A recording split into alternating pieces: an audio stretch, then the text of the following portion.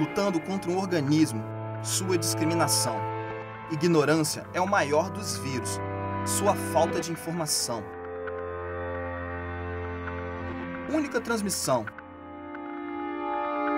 que seja de compaixão, diagnóstico de preconceito, tratadas com pílulas de respeito.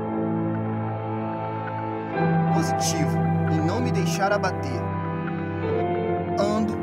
Amo, posso correr, sou humano igual a você. Gênero, indefinido, convicto do que posso ser, ser humano igual a você.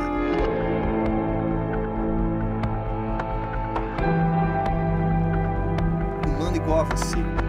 Texto de autoria de Fabrício Muniz, jovem, negro, poeta e de favela, de Campos dos Goitacazes, interior do Rio.